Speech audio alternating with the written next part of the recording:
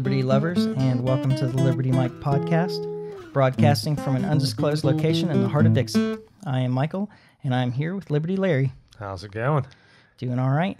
Yeah, You ready for this? we're here. We're doing it. Are you excited about your check coming? Check coming. Yeah, Oh yeah. yeah. Didn't the We- didn't the s- government just agree to give you another fourteen hundred to make up for all your losses during the Oh. uh, year of pandemic? I didn't realize we were getting Biden bucks. Yep, Biden bucks. You got We're it. get- We're getting Biden bucks. Yep, yep. Wow. Fourteen hundred for a select. F- I spent all of my Trump bucks on a gun. oh yeah, well that's probably a good investment. I felt like it was. yeah. On, on the way out, Trump bought me a gun. yeah, I, Super nice of him. I appreciated it. Yeah, that that is definitely worthwhile with a Democrat uh, president coming. And in. now, I'll, oh yeah, absolutely. I felt like it was a good investment. And now that I'm getting more money from Biden, I'll do the same with it. Yeah, I don't I don't disagree. wasn't a, wasn't a bad choice. I um, I don't know what exactly I spent. I think my uh, I think my um my Trump bucks are being inflated away in savings. In an account somewhere. yeah, yeah. Well, I was committed to not let that happen. yeah, that yeah. You're smarter than me. Um, I should have. What I should have done is I should have bought Bitcoin. Obviously, hey man, that would have been an investment, right? Absolutely. Well, um, I did a little math on this actually. Uh, so th- they signed this bill that they signed that's giving you your your extra fourteen hundred dollars. Yeah. Um, is a one point nine trillion dollar bill, Really? right? And uh, so there's about three hundred and thirty million people living in this country, like including children. I feel like it's- Illegals. I feel like that's too many, but like I mean, I haven't figured out a way that to, to combat that yet. But Well, uh, the pandemic didn't do a bad job, I would it say. is a start, right? Um, the the lockdowns killed who knows how many people. Countless. Um, well, I, I'm sure you could count them if you tried. I, it'd be tough because you'd have to figure out like if it was actually the lockdown that killed them, or Mm-hmm. just like Well, I I mean, you can do uh, excess suicides, excess overdoses, excess domestic abuse. uh, You know, there's a there's a lot of ways that you could Probably. you could do that. it'd Um, be interesting. Excess starvation. I don't know. Yeah. Um. Anyway, uh, so yeah, fourteen hundred dollars a a person. Of course, it's not actually going to everybody in the U.S. It's you know, Yeah. it's a it's a subset of the working population or the working age population. I guess if you're making less than I can't remember. I mean, you'd have to you have to pay your taxes because I know a lot of people that. I mean, I I may know a lot of people that don't pay their taxes that didn't get the the stimulus checks. I got you. So Okay. All right. So, uh, taxpayers that in years past have earned less than some certain amount. yeah, yeah, Um, but even if you give the $1,400 to everybody living in this country, 330 million people, that comes up to just under half a half a billion. wow. So it's like less than a quarter of this bill is actually going to you know to the people who need it. normal Americans. Yeah, And this is you know just to illustrate how corrupt this whole thing is. yeah, And this is Biden's bill, remember, not Trump's bill. So Yep, we all knew how corrupt Trump was. Oh, yeah, I think we know how corrupt Biden is too, but we try to ignore it more. yeah. Um, the media tries to ignore it more. yeah. So I think the total that has been given out um, per per person, Yeah, because it's like we got twelve hundred and then two thousand. And um, so that's thirty two hundred, and then this, this fourteen hundred, so that's forty six hundred per person. yeah, Um, if you paid that forty six hundred to all three hundred and thirty million Americans, that still only comes up to about one and a half trillion. It's still less than this bill, this one bill the one bill. Yeah, yeah. Not to mention the other two bills, three bills that Yeah. that made all that happen.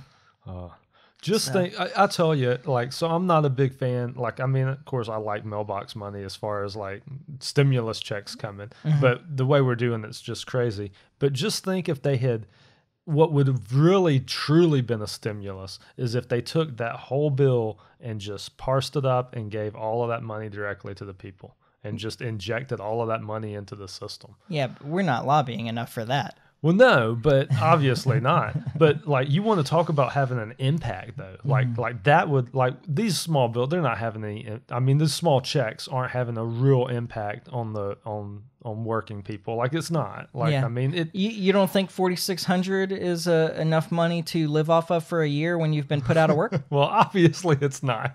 Oh, so okay. Well, you yeah. just you, you don't know how to May- make your money last. Maybe I'm spending it wrong. Yeah. Like I mean, I don't know. I mean, I already told y'all what I spent mine on. So Yeah. clearly, I don't Well, know. you can get more that way. yeah. Well, this is true. Uh. but um, but yeah, if you really wanted to have an impact on the economy, if you gave all of that Mm-hmm. money directly to the people, like that would have an impact on the economy. Yeah. Now, I don't know that it would be a good one. It may just shoot inflation through the roof. But Mm-hmm. Well, oh, it will. yeah, but but it would have an impact. Yeah. like, and it would make people happy at least for a few for a few days. Like, Well, I mean, I guess this is having an impact. There's a lot of governments that are going to um, be able to make up for their shortfalls because of this bill. well, because that's what this is really about. This is about the mainly democratic states and counties and stuff like that that but it's republican counties too that are how much money are- did they shell out to airlines for shutting them down? oh yeah I mean, I I don't know. It's, I don't know either, but it was a ton. But but it is about saving some of these states and, Mm-hmm. and county governments and stuff like that that have just for whatever reason. I mean, they blame it on the corona, but a lot of these counties and stuff were going bankrupt anyway. Yeah. Um, and a way to bail them out. Mm-hmm. So it's about bailing out local government And business. and business. It's Yeah, about business, business, that's connected. yeah, yeah. yeah, Um, absolutely. I mean, uh, let's see. What did we spend on the terror war last year? Oh lord. I mean, it was at least a trillion. Oh, it had to be. Yeah. Um, you know, it seems like that money could have been added in. I, I, I can think of better things to do with that. oh yeah. Absolutely. Um, I, I I can't remember what I can't remember the specific details of this, but there was, uh, you know, some um, socialist communist proposing years ago that they could take the money that they were spending on the military and buy every um, unhoused yeah. uh, people inflicted with uh, a lack of housing or however we're referring to homeless people these days Yeah. um, uh, could buy every one of them uh, you know a reasonable house on the wrong side of town um, and it would only cost some many tens of billions of dollars Yeah, a couple of years worth of the wars we're fighting, maybe. yeah yeah yeah yeah. oh oh no not even close like you could have done this several years in a row and not have added up to the cost of the war we were fighting i mean Yeah. it was Yeah. that that was the point is that the amount that we spend on the military was so much more than would be necessary to put every single person in this country in a house Yeah.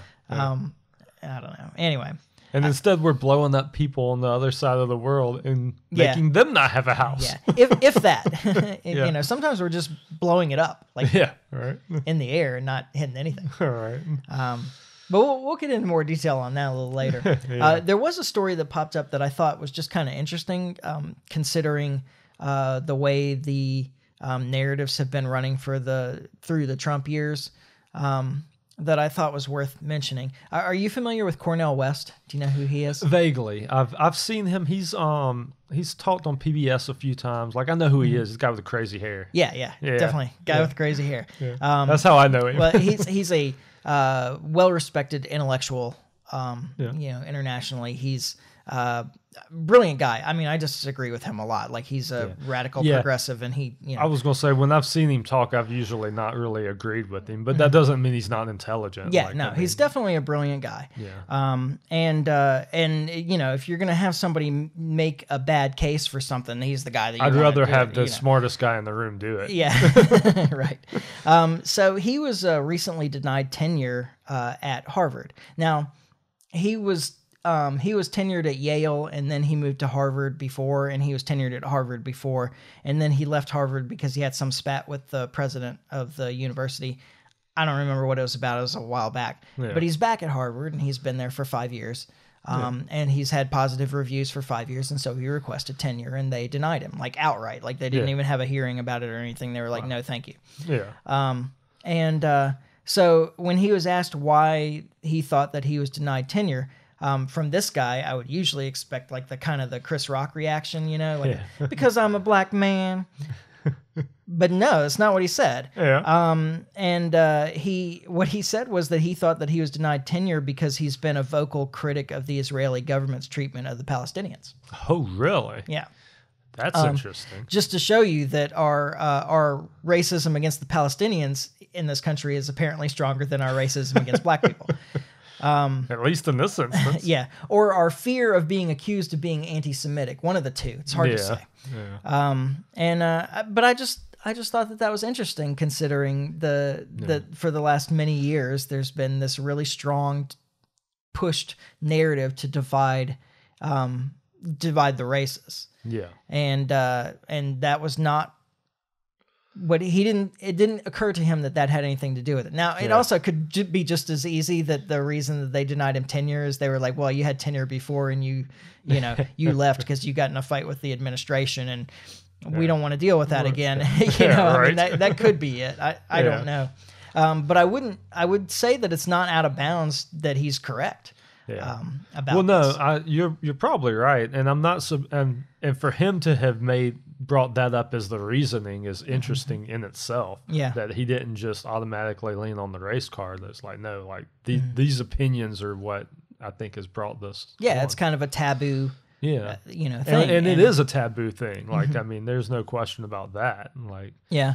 Um, it, you know, somewhat related, the uh, the U.S. is once again bidding for a seat at the UN Human Rights Council, which we used to have a seat on the UN Human Rights Council, and Trump um, withdrew our representation, the U.S. representation there, uh, because they had maintained censure against Israel um, for their occupation of the uh, uh, Golan Heights and uh, some of these things that we've now told them that it's okay that they have, Yeah. uh, but is absolutely against international law. Yeah. Um, they're what they what they captured during the Six Day War back in '67 sounds somewhere right. in there. yeah. um, and uh, it's uh, you know part of the UN um, international law is that you aren't allowed to keep uh, conquered land, um, and you're not allowed to settle it, and Which is, so on. by the way, the reason we don't own Iraq.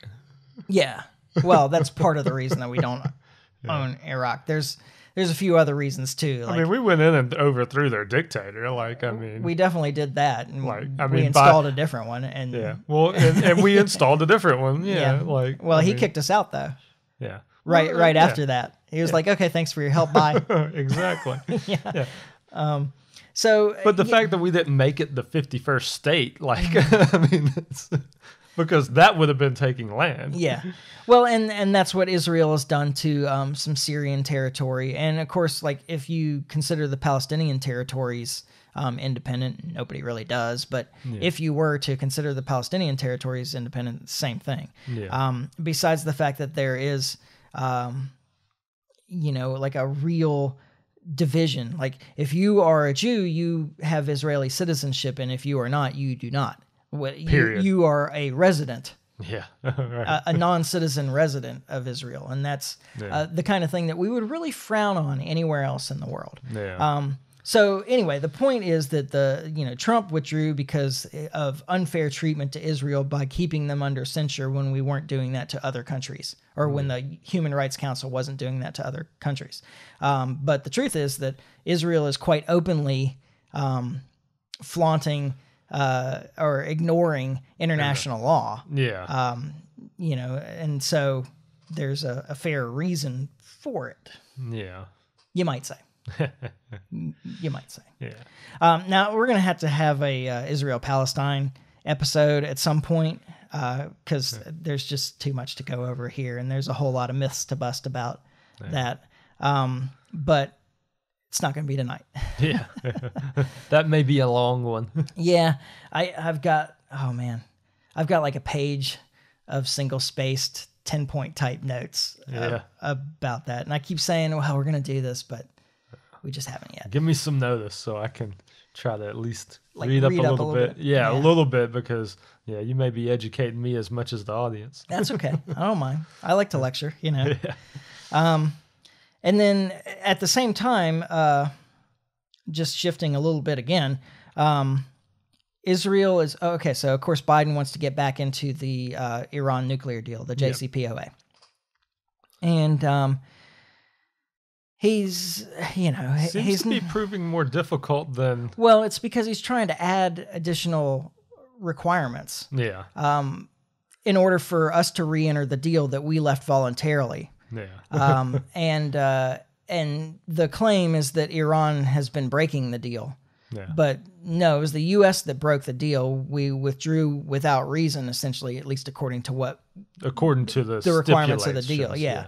Um, and then and, and put sanctions back on them, which was absolutely against the, the agreement. But we weren't a part of it anymore. So, Yeah. you know. Yeah, we'd like to do- Um, but as a result, uh, Iran started to um, move past some of the limits within the deal. But that's part of the deal also that if somebody withdraws, if they're placed under sanction again, they're allowed to move past. And they very openly announced every time they were making changes. Um, so they they have actually continued to function within the the terms of the agreement. yeah. Uh, but now, in order for us to re-enter it, we're trying to tell them that we need to add more stipulations, and they're like, "No, thank you." Yeah, right. Um, we already worked hard to get to this once and then you walked away. yeah, And who's to say in another four years you won't do it again? exactly. Um, now, at the same time, uh, Israel is pushing the U.S. hard to stay out of it. Um, Israel was opposed to the deal to begin with. Um, I'm trying to think of a way to put this delicately, but there, I don't think that there really is a way.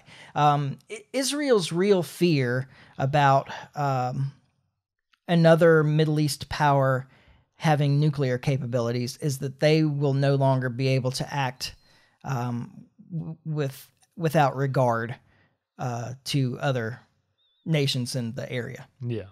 Um, right now, they don't have to worry about the consequences of their actions because they're the only nuclear armed state in the Middle East. Yeah. Um, and and their real fear is that if another nation, I think, uh, is nuclear armed, that they can't act, they can't attack their surroundings, um, you know, without considering possible consequences. Yeah. Like right now, they can defend themselves better than anybody else, Yeah. And that will no longer be true if they're no no they're no longer the nuclear monopoly in the Middle East. Yeah. So that's what I think it's really about. But um, anyway, uh, Israel uh, through you know so Benny Benny Gantz, who's the defense minister of Israel, um, he has threatened to quote take action uh, against Iran's nuclear program if the U.S. rejoins the JCPOA. Yeah. Now, we've covered this before, um, but Iran's nuclear program is entirely civilian and it always has been. Yeah. Um, they did some preliminary inquiries into the possibility of developing nuclear weapons uh, nearly two decades ago. Um, uh, but they discontinued, and all the the intelligence agencies agree. And I don't always put my faith in the intelligence agencies, but it, when it's against their interests Yeah. and they say these things, um, then it's probably worth listening to. Um, but all the intelligence agencies agree that they stopped their preliminary inquiries in 2003. And why is that?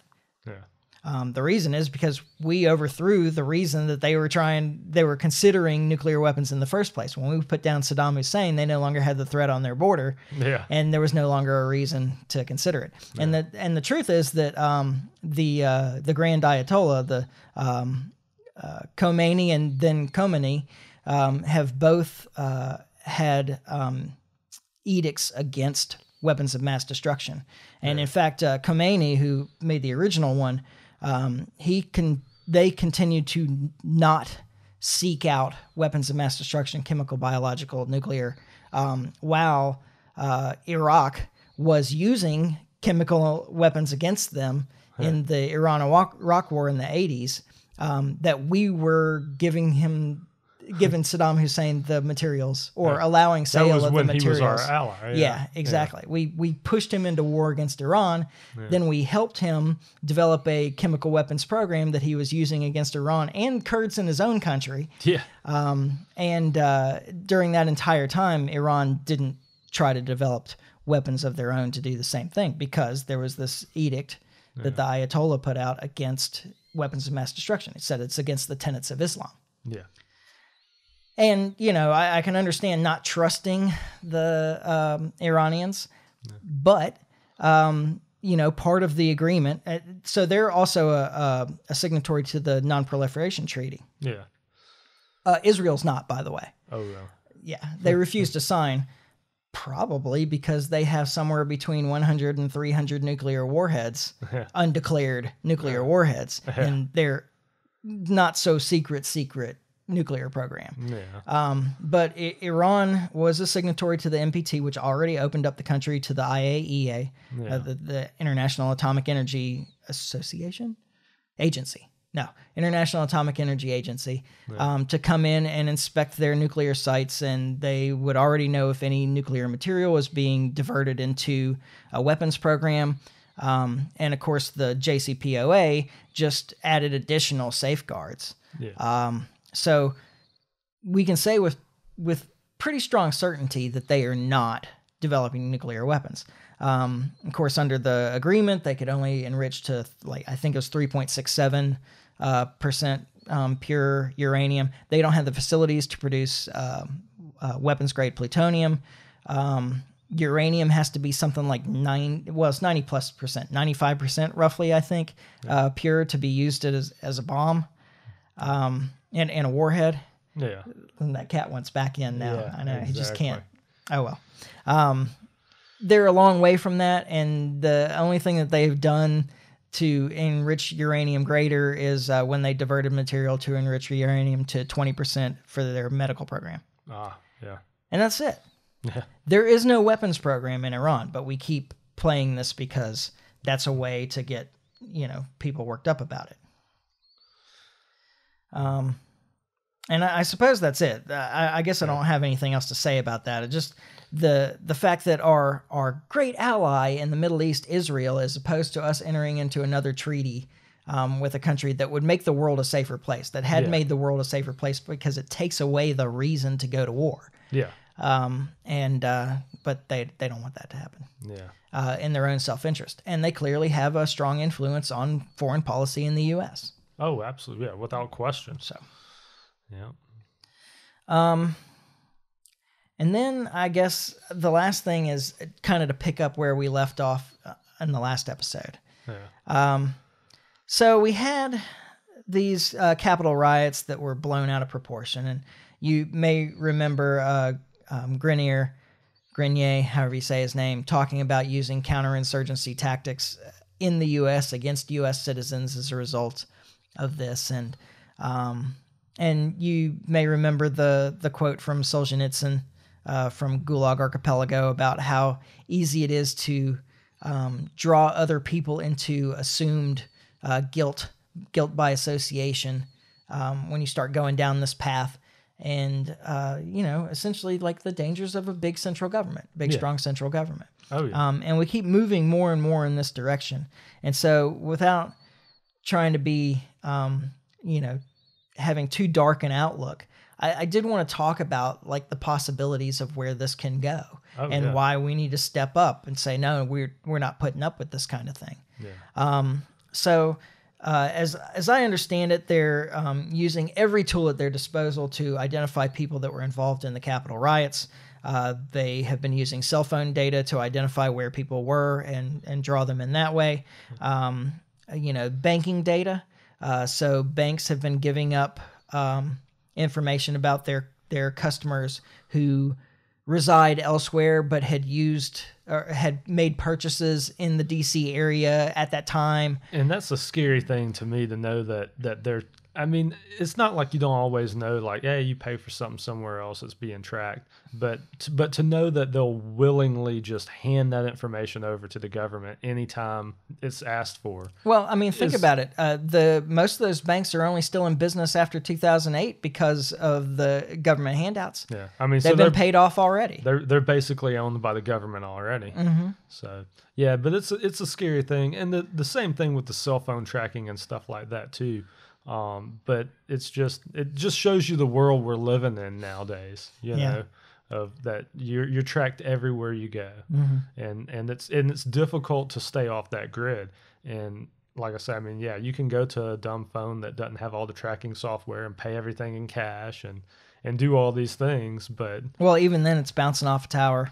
it's still yeah, it is. Yeah, I mean, they can still identify you if they want, and um, and the, you know they're using uh, facial recognition software from surveillance uh, video, Oh, yeah. um, etc. And then I like I wanted to particularly, I wanted to talk about drones in this case. Okay. Um, now they weren't using drones, to my knowledge, Yeah. um, but there has already been, and I'm not sure if they ended up doing it or not, but there's already been plenty of talk about using military drones in the continental United States uh, to patrol the border, as an example. Yeah. Um, I think that they used uh, drones to track.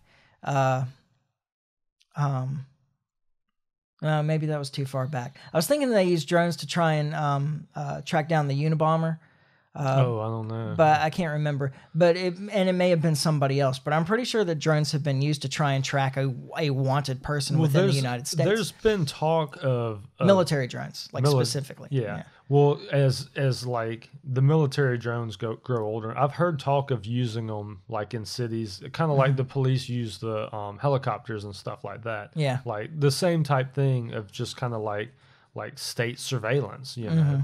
Um, and I hadn't. It's not something you that they talk about a lot, but there's been there's been mention of it before, um, and that's now now you're really talking into okay, like what kind of place do we want to really live in here, where like you can be sitting in your backyard and have not even see drones flying over Yeah. your just yeah, and we're getting into an Orwell style giant scary state kind Yeah, of thing. I- exactly. I, mean, I do think that the um, that the uh, um, Aldous Huxley style big powerful state is is scarier yeah, because it's more hands off and like you know more insidious. But um, I you know the Orwell style um, giant state seems to be more in the direction that we're moving yeah, and uh, and so I, I wanted I've been reading Scott Horton's book, new book, uh, enough already. Yeah. Uh, I'm like halfway through it at this point. Um, but was when I was reading uh, about Pakistan last night um, that I started really thinking about this, like how how terrifying this can be. Yeah. Um, because they were talking about you know Obama stepping up the drone war in Pakistan um, after he took office, and they ended up. Um, it like changed the way of life of people in Pakistan. yeah, Um, that they, you know, they were counting on cloudy, rainy days uh, because sunny days was dangerous to go outside yeah. um, because the drones were flying. Yeah. Um, that you hear them all the time, but you can't always but see you don't them. usually see them. Yeah, And uh, and the you know literally uh, bombs would drop out of the sky and kill seemingly random people. yeah, Um, and uh, they Well, stopped. they had a very close knit culture, but it, it spread out because of this. Because you didn't want to move around in groups of more than two or three, um, because you were likely to eat a eat a missile, a rocket, or a bomb. because because maybe one if if you're in a group of four, there's like three times the chance that somebody in the group is like on some list, Yeah. whether they rightfully so or not. Like, yeah. you know, Or if you just see a group of four or five military aged males, which is you know What they fourteen were to sixty yeah. or whatever, Yeah. um, then you just to be safe. yeah, you know you might uh so they stopped doing school um you know there was like all these things that quit and they were they were terrified yeah, yeah. I mean, I can imagine. I mean, I can I can understand that that type of scenario. You know, and um and the way they use these things and uh, okay so well let me talk about a couple of the methods yeah, um, that they used. And and we've talked about this stuff before, but like you know, one of the things is link analysis. So you talk about using cell phone data. Um, you know, link analysis is essentially saying we know this person's a bad guy. This person contacted that person, so they must also be a bad guy. And then these two people also contacted this other person, so they must be bad guys too. All these people are now linked, and so we consider them all to be guilty yeah, because we know one of them's guilty. And actually, just like in the the Solzhenitsyn bit, that first guy might not be guilty either. yeah. You, you don't know? actually know. Yeah, like, but um, but then I mean, it's good enough for them to be a target now. yeah, Um, and then the other thing is the is actually like the more frightening part is uh, signature strikes Yeah. um, that we talked about before. Now, signature strikes sounds like it's a very formal process. You know that oh, okay, well we know exactly who this guy is, but that's not true at all. um, what they're doing there is that they're using data, generally again, you know, cell phone data, um, and somebody's movements uh, match a pattern that an insurgent might do. So, um, I, and I think the example that I gave when we talked about it on this podcast before, and I'll try and reproduce it as best I can, um, is that say you're on your way to work. yeah, So you get up, you leave your house, you're on your way to work. Um, and then uh, you, you your cell phone's not in your pocket. And you're like, oh damn, I dropped my cell phone or something. So you pull over to the side of the road and you start hunting under the seat or whatever, and you can't find your cell phone. So you think, well, I must have left it back at home. So you turn around next opportunity and you head back home. And then on the way home, it buzzes and it was in the seat next to you. And you're like, oh, geez, there's my cell phone. So you stop and you turn around again and you start heading back to work. Now, somebody looking at it at the other end that doesn't see what you're doing says, well, this matches a pattern of somebody who's, uh, who's trying to lose a tail, who's trying to, um, you know, a counter surveillance tactic. Yeah. All right. So uh, why would somebody be using counter surveillance tactics? They must be a bad guy. Better drop a bomb. Yeah.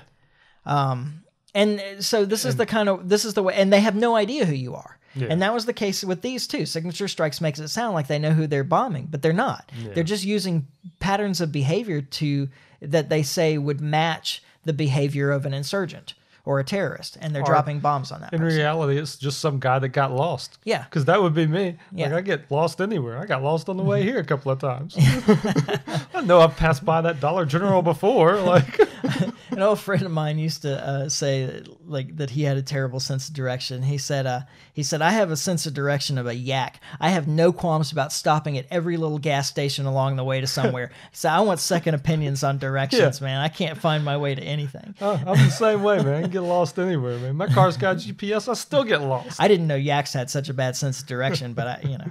Um, but uh, you know, another thing is okay. So somebody goes and and they purchase a whole bunch of fertilizer. Yeah. Okay, well, you know, people pur- purchase a whole bunch of fertilizer when they're trying to make a bomb, right? Yeah. But they also purchase a whole bunch of fertilizer if they own a farm. Yeah. Yeah. You know, so, um, and this sounds absurd, but this is the kind of things that the, this is the kind of things that were happening in Afghanistan and Pakistan. Yeah. Um, these are We- we've methods that the U.S. Uh, intelligence agencies have used to target people. Yeah, well, and it's our government has already used this in a foreign country somewhere, like these exact tactics. Yeah. and they're not being very bashful about at this point Mm-hmm. using those same tactics here. Yeah. to fight this new enemy Yeah. that we have in the in basically the Trump supporters. I Yeah. mean, if you really want to be just honest about More it, or less the right half of the country and Yeah. the far left yeah, tenth or something. Um, anybody that's outside the mainstream. And if you think that they won't use this on an American citizen, let me remind you of Anwar al Awlaki, yeah. um, who they dropped a bomb on in 2011, or I think it was I think it 2011. was yeah something like Um, now, Anwar al Awlaki, he's not a good guy. I mean, Yeah. he was, you know, he was inciting violence against America. Of course, he was doing it because he was, you know, he was radicalized. He's an American citizen, um, a Muslim cleric that was here, and he became radicalized by the terror war. Yeah, Um, and he ended up doing a lot of speeches and putting them up on YouTube, and he inspired a lot of people to come out and fight against the American invaders yeah, in the Middle East, which is really what we are. yeah. Um, and uh, but he is still an American citizen and entitled to uh, all the protections that the Constitution offers, including a fair trial, yeah. um, and including not having things taken from him without due process. Yeah. But he had his life taken from him without due process because we identified him in Yemen and we dropped a bomb on him. Yeah. Yeah. He was assassinated. He's an American citizen assassinated by the U.S. government, by Obama's government, the Yeah. great progressive Obama, Yeah. assassinated by Obama's government without trial, Yeah. without due process. Yeah. So if you think that they won't do this against American citizens, you're just wrong. They've already done it. Yeah. yeah. And uh, think about uh, you know all the history that we know of what has been unleashed on American citizens in the past. Anyway, um, uh, I recommend everybody go to Netflix and watch the Wormwood documentary. Okay. Um, the Wormwood documentary is about the death of Frank Olson. Um, now, this guy was a uh, a scientist who was working. He was a chemist, I believe. Um, he was working at Fort Detrick, and of course, Fort Detrick is where all the chemical and biological weapons are researched in the U.S. military. And yeah, he really wants in. Yeah. Should I let him back in? We'll give him another chance. No. No. Okay. He he had his chance. Yeah. Um, and uh, he um, he started to question some of the things that were being done. Um, he got the idea that possibly the U.S. was using uh, biological weapons in um, Korea in the Korean War, Yeah. and uh, he um, I guess he started to question what he was doing a little bit more. Yeah. And um, he was a dissident and uh, maybe a threat to unleash or, you know, release some information, to leak some information that the U.S. public wasn't supposed to know about that the U.S. government was doing. Yeah. Um, and he he fell from a 13th floor window in New York um, with another uh, with a CIA guy in the room with him. Um, and you know that guy said, "Well, he just woke up and the guy went out the window," you know, kind of thing. But they the Wormwood documentary is about the evidence that they've uncovered that would suggest that the CIA killed him. Yeah. Threw him out the window. Yeah. Yeah. Um, and uh, but the the point of this is that you know um, Sidney Gottlieb. I don't know if you're familiar with him. I actually have a book coming about him. I'm it's supposed to arrive Sunday, I think, um, called uh, Poisoner in Chief. But he was um, he was a frightening kind of scientist uh, that was researching mind control in the CIA. He was part of the MK Ultra product project and and so forth. And so was uh, Frank Olson. That was the original story. Is that he was um, he was administered LSD and he got out of control and he he jumped out the window. Yeah. That was the story. Um, but uh, anyway, like the MK Ultra project, if you start looking into it, you'd see that they were um, giving American citizens high doses of experimental drugs without their knowledge and without their consent, and they were doing it in prisons and so forth too. I mean, like, To think your government won't do some crazy stuff is just absurd. yeah, I mean, you look at what we did to the Japanese during World War II. yeah, In this country, Yeah. like the the people who were Japanese, you know, of descent, Mm-hmm. Yeah. like, locked in concentration camps, like we did that. yeah. Well, and what Woodrow Wilson did to um, to uh, media people, that journalists that weren't on board. Yeah, Uh, you know, there's been plenty of examples. Yeah. I, I mean, I, I, to paraphrase uh, Chuck Palahniuk um, from Fight Club, uh, you have to be prepared to accept the possibility that your government doesn't like you. yeah, They may actually hate you, yeah. and they there's definitely some disdain for you. Oh yeah, well, yeah, without question. So, um, anyway, the, the point being, like, if you think about these tactics being unleashed on American citizens, um, that, you know, that certainly us putting this kind of information out on this podcast, Well, and it makes you even wonder, like, so you were talking about, um, like radicalization. yeah, throw some camo netting over the top of my house. Joe, man, you might need to. we can. Hey, there may be come a time we can only have this podcast on rainy days. yeah, you're right. you know. Luckily, we get a lot of those down here. Yeah, we do. But like I say, I may not be able to drive here in the rain after. What's after dark too? I think. yeah. Yeah. Can the drones not see you at night? They they probably have some like FLIR stuff. You know, the forward-looking infrared. They probably. Yeah, I don't know. yeah. So rainy days it is, man. Yeah, it's not guess so. cloudy, I gotta stay in the house. I can get drone bombed on the way to meet with Mike. yeah. No, So- that would be no good. But but it's but it makes you wonder, kind of like you were talking about, be people being radicalized. Like Mm-hmm. that because that even can start becoming a loose definition. I mean, I'm there's I've been called radical plenty of times. Mm-hmm. Oh, yeah, me like too. all I got to do is start talking about politics, and Mm-hmm. and the radical gets thrown out pretty quick. Yeah. like Oh, I have to add this kicker about the Frank Olson thing. Yeah. I had to look this up afterwards because I, was like, no way, that can't be true. Yeah. Um, but uh, so they brought a, a a lawsuit against the CIA for murdering um, Frank Olson. yeah. Um, and the the federal judge threw out the lawsuit. Um, but in his decision, he said that he was convinced by the evidence that Olson had been murdered by the CIA. Yeah. And so you say, well, why why then did he throw out the suit?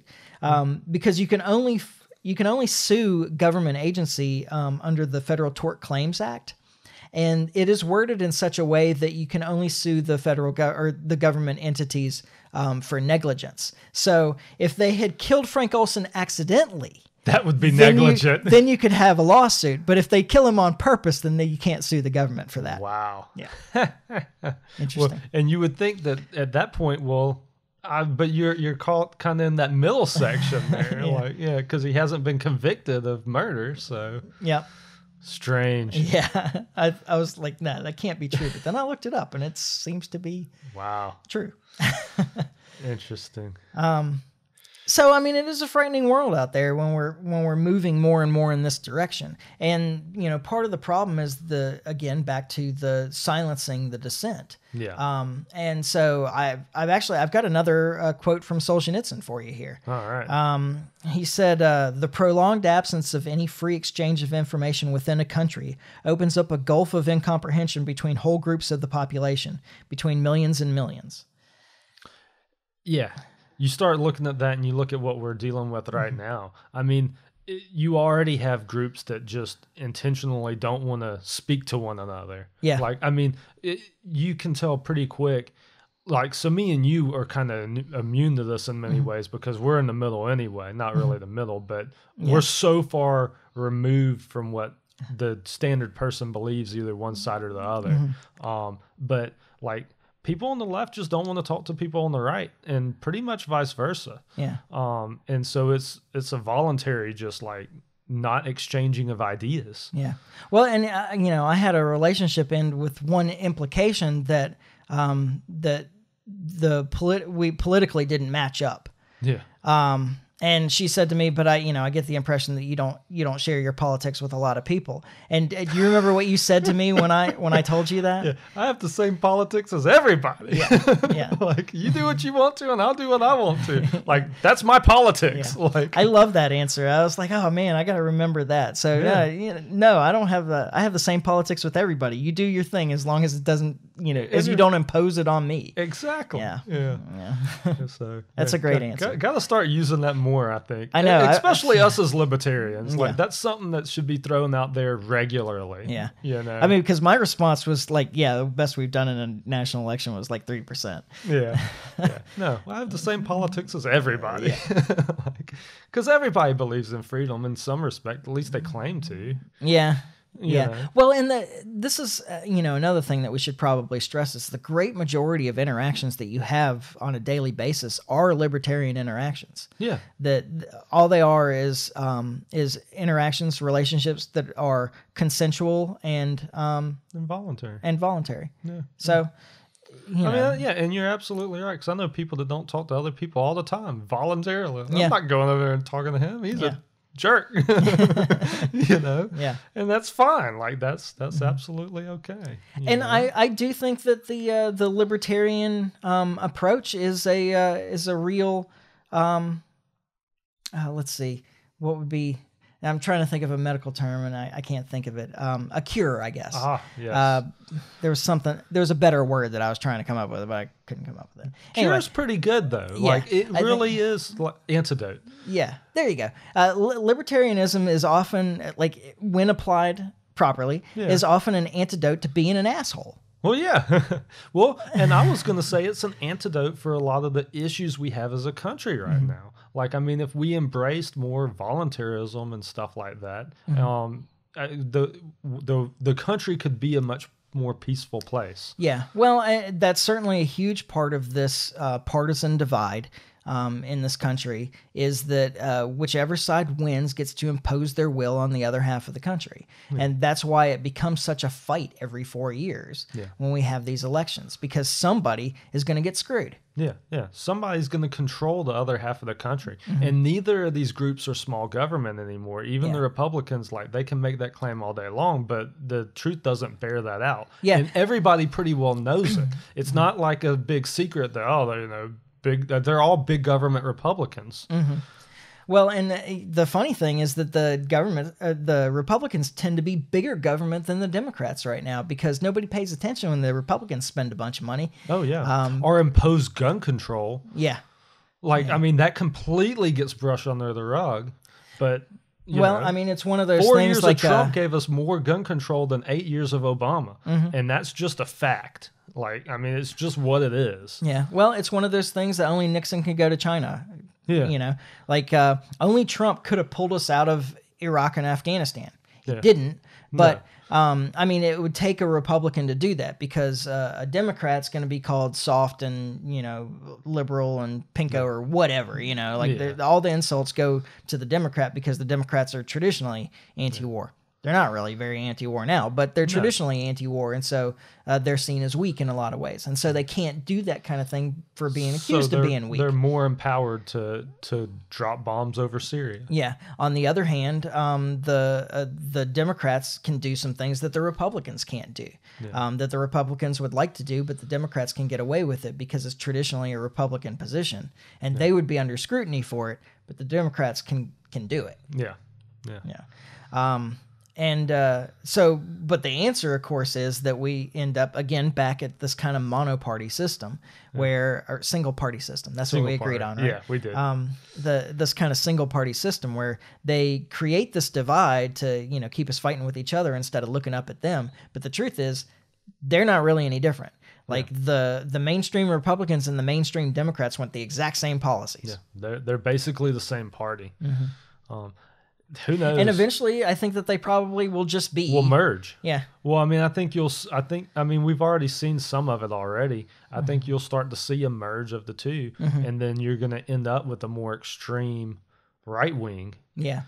The uh, the the neoconservatives and the um, the uh, neoconservatives that stayed Democrats Yeah, um, are going to come together. The center of the right and the left are going to come together and form one giant party, whereas the uh, the radicals on either side, the libertarians on the right, and the um, the progressives or uh, socialists on the left will split off and be their own thing. Yeah. But they won't be able to amount enough power to overcome the the Yeah. big central centrist Exact- s- uh, quote unquote centrist party. yeah, Um, I don't know. Uh, that may be where we're heading. That's a really scary thought. yeah, yeah. I don't like the sounds of that at all. I still like the idea that that we need to convince people that they're just splitting their vote, Mm-hmm. voting for Democrat or Republican, they need to vote Libertarian. Yeah. Like, I mean, I think if we, because I do believe like that, that's something that could happen. Mm-hmm. Like, make make them split the vote. Enough with this us splitting the vote. Like, make them split the vote and vote Yeah. us in. Well, and uh, you know, maybe you can just I I don't know if this actually really appeals to people. It does to me, but Yeah. you know, I'm a radical. um, I, you know, put libertarians in high uh, high level offices because we will devolve governmental power down to the local level Yeah. as Well, best we can. And I'm convinced more and more going into tax season that we need to we need to talk more about taxes and spending. And, and spending too. Mm-hmm. But I mean, taxes are what affects people directly. Yeah. I mean, you That's start something talking. that gets my brother on board. I tell you, man, you start talking about. I, I'm saying, man, like I've all I've got shirts all over the place that say taxation is theft, and I, and they get attention everywhere I go. Mm-hmm. Yeah. and it's almost always positive. Yeah. Unless it's a government employee, it's always positive. There's a whole lot of right on, brother. yeah, exactly. Like I mean, we that's that's a message we should get behind, and, and one that I think could be a winner under the right circumstances. Yeah. Well, I mean, you're right. I think that I- I really think that the biggest danger is our foreign policy, but I I think you're right. People don't pay attention. It's it's far away. Yeah, yeah. People don't the, pay The stuff that's going to get people into the voting booth is is taxation and and, and a a campaign that says we're going to do something about it Yeah. could be a winner. Yeah. Well, and uh, of course we had the opportunity, great opportunity in 2020 to uh, to push about the um, the lockdowns. Yeah, that's another that's another message that I think is a big winner. Mm-hmm. Um, that's just kind of sitting on the sidelines there that nobody's picking up the ball with. Yeah, I don't think it'll matter in 2024. I mean, think- hopefully they don't still have us locked down. I mean, that's, well, let me tell you something. If we're still dealing with this come 2024, that's a that's a going to be a winner issue for somebody because Yeah. somebody will pick that up if Yeah. that's if we're. well, still there's no way they they have more sense than that. There's no way they can keep people locked down that long. I I, I tend to People agree. people's patience is already at its end. There's yeah. no way. Yeah, it, I don't think this stuff will make it to the midterms. Yeah. I mean, yeah, otherwise heads will start rolling. And, Yeah. and governments recognize that when Oh it's yeah. coming. yeah. Exactly. These people aren't there because they're dumb. yeah. So. Well, some of them are. Well, some, plenty of them are, but at the same time, they can see the writing on the wall. Um, but just be afraid of your government. There's Yeah. good reason to be afraid of your government, and we are giving them every opportunity to uh, get bigger and more oppressive. Well, and don't be afraid to speak out against it because we have to. Like we've got to be willing to stand up and talk and and not not bend the knee. I'm tired of that expression. I love that expression. Oh man. Use Um, it all the time. Don't bend the knee. Usually in the don't do it. Yeah. I'm not usually. I rarely tell people to bend the knee. And I, I said be afraid of your government, but the other half of that is don't be afraid of the narrative. Don't let the fear get to you because that is a powerful tool of control. well, and we've already seen that. Like 9/11 is a prime example. It's probably the Mm-hmm. most recent of our time. Of Pandemic. Well, the, well, not that. Yeah, I guess that's the most recent of our time because Yeah. we're still living through that. Yeah. But um, prior to that, 9/11 Mm-hmm. is like the because just the fear after 9/11 was was incredible. Yeah. Well, um, there's a there's a theme that runs from that. Um, of course, through the Iran stuff and, and everything else is the is the nuclear weapons scare.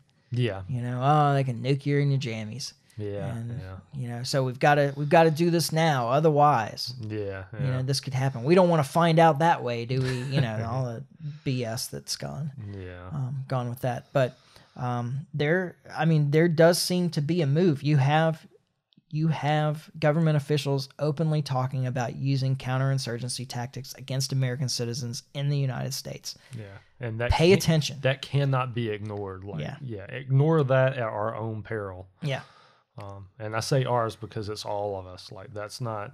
It's not just for the radicals like me and you, Mike. This is bad for everybody. yeah. Wolverines. Woo! All right. Well, that's enough for tonight, I suppose. Um, that I don't know. I don't have anything else to talk about. I'm just I'm Yeah. trying to think back and like whether the tone of this podcast was what I was hoping for when I was going into it. Um, doesn't matter now. It's recorded. We're not doing it again. We're not doing it again. So uh, we expect to be back here in a week. Um, Even if it has to be a late, we're pulling a late nighter, so this will pop up for everybody tomorrow. But we're late casting this. yeah, it's yeah. been a long. I've been going since four thirty this morning. yeah. It's all Liberty Larry's fault. It really is. It's been a long. I was ready to go hours ago. It was. It's been a long day for me. let me say that. Yeah. So Um, so in the meantime, uh, you know, follow us on all the places and subscribe on all the places that you can, and like and share and comment, and um, you can always uh, send me an email at Michael at the Liberty Mic. Um, happy to hear from you if you have topic suggestions or just information you think that I need. yeah. I'm happy to happy to hear it, get it, Yeah. have it sent to me, etc.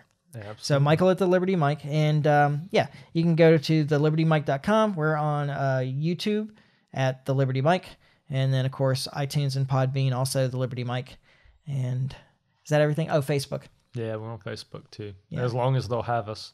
Yeah, as, yeah. Um, we need to expand that into some other things soon, probably. Um, and uh, we'll be back in a week when we finally get this right. And in the meantime, try to stay free. Life's short, live free. Ciao. Later.